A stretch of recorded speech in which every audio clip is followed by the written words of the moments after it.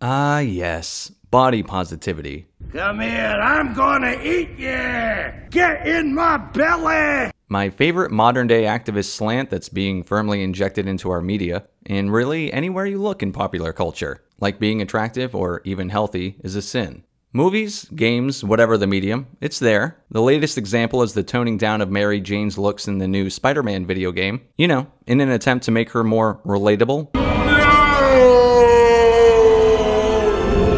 A character whose canon background is a fucking professional model it's nearly impossible to find a movie or show without some level of toxically positive crap being preached to you, whether it's about racism. No, I appreciate it. And thanks, brother. We're not racist, or I'm not trying to be. You know, I have some flare ups in traffic, but overall, I'm good. Body positivity or relationship preferences. I do have a black brother in law, so uh, basically what I'm saying is uh, my sister is fat. And, um... you name it, someone's writing a screenplay about it. I guarantee it.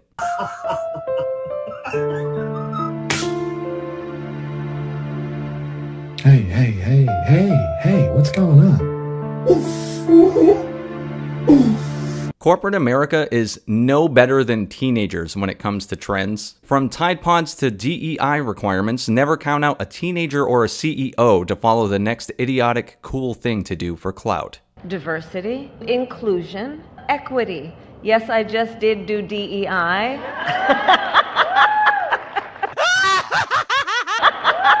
Whether it's Megan Fox playing April O'Neil, or a far more uh, diverse and relatable version of April in this year's Ninja Turtles animated film, or controversy surrounding whatever the fuck this is in Fable. They have to put out a public statement acknowledging that they were in breach of contract. And I don't think that's going to be, oh Jesus! Hollywood is where trends go to die, and Western culture seems to pivot like Michael Jordan when it comes to reactions. Cultural shifts are always a rapid pendulum swing in the other direction. In response to toxic bully culture, we've pivoted as a society 180 degrees and turned into a culture of toxic positivity. It's the new trendy thing to do, and Hollywood hopped on that train and is staying on until it derails, which it inevitably will. Attractiveness and looking healthy, not supermodel thin, but healthy, is hilariously under criticism and attack because Hollywood wants to push the message of inclusion so that people see themselves on the big screen or YouTube ads. And certain businesses thrive off of beauty. I mean, there's literally a business called the beauty business, and also Hollywood,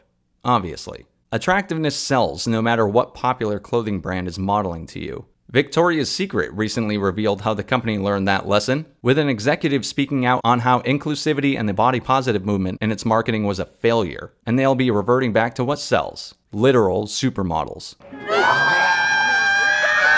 How dare you!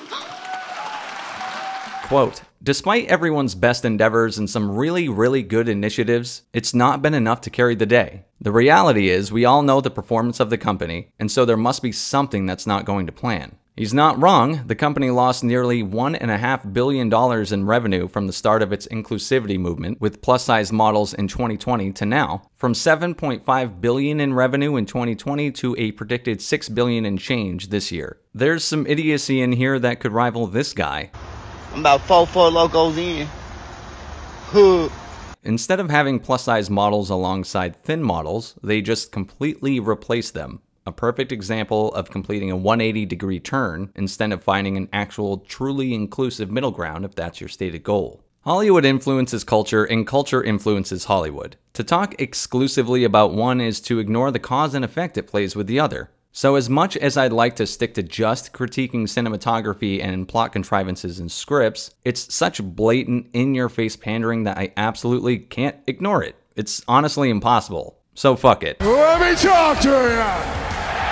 Alright, well, first things first, and maybe the most obvious the desexualization of the MCU's female heroes. Notice I said female and not just heroes. That was not a mistake, dear viewer, because you'll notice a pattern that it seems to be an almost exclusively female driven movement pretending to be for everyone. Let me explain. When Scarlett Johansson was hired to play Black Widow in the early years of the MCU, her first role looked a little different than the last time we saw her. In her first on screen appearance in Iron Man 2, Black Widow was most definitely the femme fatale role and looked the part too. By the time we got to her solo film, Scar ScarJo's outfit has become completely desexualized along with that aspect of her character. Same goes with Scarlet Witch, whose costume in Age of Ultron was slightly more revealing but has since been toned down too. I'm not saying this is good or bad. I mean, if you write a character who's a femme fatale, it does make sense to have her, you know, be that. But other than that, I'm not trying to sound like a guy complaining because I don't get to see some baddies on screen. Funny part about this is, it only seems to apply to the female characters. Last year, one of the major selling points in the trailer for Thor Love and Thunder was Chris Hemsworth getting stripped to his bare ass. Ladies in the comments swooned. Meanwhile, if you dare say Scarjo's hot, you'll be condemned. Man, that got herself a nice little dumper. What did you just say? You heard me. It doesn't end with Chris Hemsworth either. Even characters not known for their physique have no shirt requirements if they're male. Like Marvel requiring Benedict Cumberbatch to get jacked for his singular shirtless scene waking up from a nightmare in Multiverse of Madness. The hypocrisy looks worse when you consider that Natalie Portman had her muscular arms CGI'd on. Meanwhile, Chris Hemsworth has to shorten his lifespan and project what you would consider truly unrealistic male body standards, because there's no way that motherfucker isn't geared to the gills on top of an unreal amount of training and physical pain he has to go through to increase muscle mass and maintain it. Elsewhere, you had Bryce Dallas Howard complaining that the studio dared ask her to lose weight for her role in Jurassic World Dominion. Almost like she was smaller in the previous two films and they were maintaining consistency. The audacity! Meanwhile, her co star Chris Pratt has to be built like a brick shithouse, which requires an unbelievable amount of work and training to accomplish. Examples from all over media have sprung up and are rightfully mocked. Like when they decided to make Velma the dictionary definition of a self insert character for Mindy Kaling, because the character looked like, well, Mindy Kaling.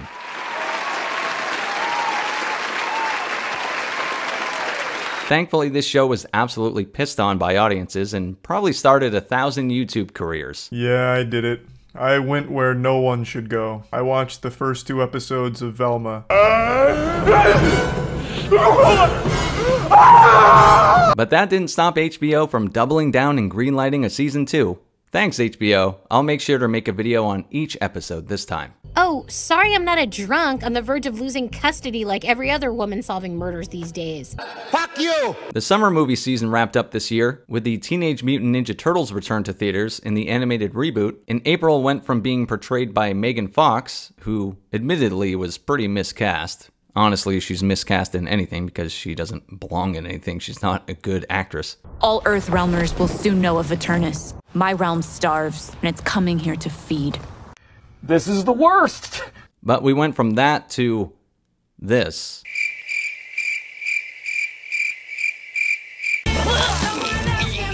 Movies and television DEI casting and character designs aren't nearly as prevalent as it is in the gaming community, though. Where it seems to happen more frequently with the Fable hysteria online, honestly making me laugh this year.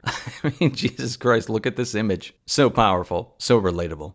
And for games, just like in the movies, the male characters are not altered from the hypermasculine, roided out looking superhero physique. While poor Mary Jane even got a downgrade between 2018 to 2023. And I didn't even know about this Disney Plus short film called Reflect until recently, because it apparently came out last year, but when I learned about it, I was struck by how Disney films are an absolutely perfect corporate display of the evolution of societal approval or disapproval. For example, in WALL-E, released in 2008, the humans were presented as lazy slobs overcome with greed, narcissism, and consumption in every form, from entertainment to food. All of the characters were morbidly obese and either restricted to their floating chairs or chose to stay in one. The message of the dangers of consumerism and self indulgence was loud and clear. It was an obvious warning regarding Western societies increasing their waist sizes. Fast forward 14 years, and Disney releases Reflect, where a character who's obese needs to push through her anxiety caused by her body issues so she can participate in ballet like she wants. If we're talking just from a zoomed out perspective, it's so interesting to me that a person who looked like this was considered a warning for the future 15 years ago, while now in 2023, a person who looks the exact same is being showcased as a virtuous beacon of courage. This sort of thinking doesn't work in the long run because it's just smoke and mirrors. You can't tell someone who's insecure about a legitimate issue, whether they know it is or not, that they're already perfect the way they are. And if they just spoke it out loud enough and believed in themselves hard enough, it'll become reality and the world will conform to them. It simply isn't true and is quite literally magical thinking being displayed as a healthy coping mechanism. The message itself is born out of empathy, but like anything, it can be overdone and become its own form of toxicity, which it currently is. Self actualization without having to put in any effort whatsoever builds a narcissistic culture from an insecure society hell bent on pretending they're happy with themselves and avoiding the hard work, which catches up to everyone eventually. Some people are born with symmetrical features and are beautiful. Others, genetic gifts of height and strength and are amazing athletes. But those gifts are usually honed. To have that unrealistic body standard, it takes an incredible amount of discipline and hard work to look like that. But to say it's impossible for the average person is blatant victim mentality. Not everyone needs to look like Megan Fox or look like Ronnie fucking Coleman. Those are extremes, but suggesting any criticism of morbid obesity being normalized as fat phobic is also an extreme. What a body positive image like the character of Bianca in Reflect fails to do is deliver the other side of the message, the part that requires accountability. No one should hate themselves. It has that part absolutely right. But no one should shy away from wanting to improve their circumstances either, no matter what they are. The story successfully shows her overcoming her insecurity to dance, but wait. She also wishes she could look smaller like the others. Her desire to change her appearance is never addressed and is actually frowned upon as a negative thing. Why? It's presented like her circumstances are completely out of her control, which for the vast majority of people in those circumstances that this kind of character is preaching to, it completely is. Some people are genetically gifted and either have physical attributes that make them stand out when it comes to attractiveness or attributes of athletic prowess. It is what it is. Some people have real medical issues that make them gain and unable to lose weight. This is also absolutely true, but like the genetically gifted, those are rare circumstances. But people who are deemed guilty of projecting unhealthy beauty standards typically don't look that way just because of luck. A lot of hard work and discipline goes into an athlete's ability to stay on the court or field. Or Dwayne The Rock Johnson, an unbelievable amount of discipline and HGH to look like he did in Black Adam. And yeah, when you see a fitness influencer who's jacked as fuck and bald, guess what? He's unhealthy too. It goes both ways. You absolutely shouldn't expect to look like Chris Evans. It's his job to look like Captain America, and it's also long term unhealthy. Right, Liver King? And I'm here now to set the record straight. Yes, I've done steroids, and yes, I am on steroids, monitored and managed. But to suggest that morbid obesity is the answer to that and to just leave it at that is insanity.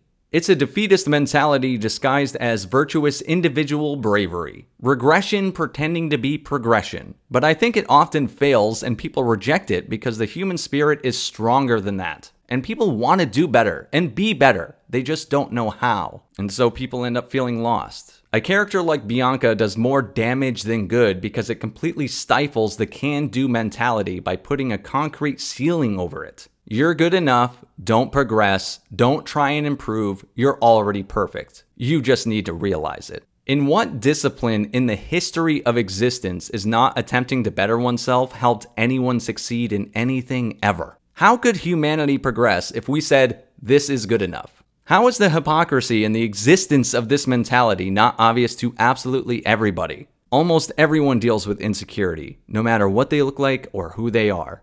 Margot Robbie was once asked if she felt sexy, and she said she plays characters where she has felt that way. You, me, every other average person in the world, we all feel insecure at times, and yes, that's absolutely valid and probably even reasonable to feel that way a lot of the time. But the message doesn't need to say that's where it ends. There are also things within our control, and a lot of times we can do something about our anxiety driving situations. We're either just afraid or don't know how, or both.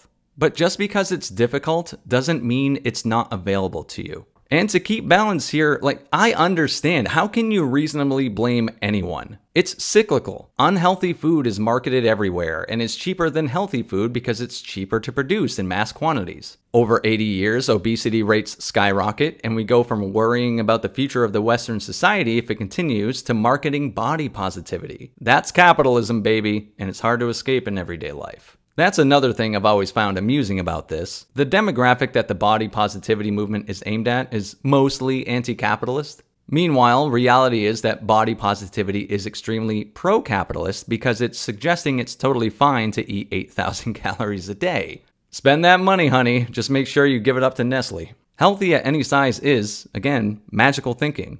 It reminds me of smoking, where societal attitudes have altered greatly in the past few decades, and it's now mostly socially frowned upon to smoke cigarettes. My mom used to smoke. She says cigarettes kill. Is your mommy a doctor? No, A scientific researcher of some kind? no. Well, she doesn't exactly sound like a credible expert now, does she? Because no, you probably won't get cancer in your 30s, but we know there's a high likelihood of developing it later in life if you never stop. Same goes for obesity and the health risks associated with it. This isn't about plot contrivances or shitty editing in a movie, but it bears repeating that culture is inexorably connected to entertainment. And it's gotten to a point where it's weird to completely ignore the other part of it if you're a commentator on either. An unfortunate reality, but reality nonetheless. There's a better way to push a body positive message, and it includes the second part that takes accountability into consideration. That's a real positive message. Even a cynical ass like me is saying it. Push that, Hollywood. The world would quite literally be better for it. Ladies, if you could just support the WNBA the way you support a chick that's proud of her body and is no longer a threat to you. Oh my God, you're a goddess. You're gorgeous. You look great in that bikini. I would kill myself if I looked like that. Keep eating. Keep eating.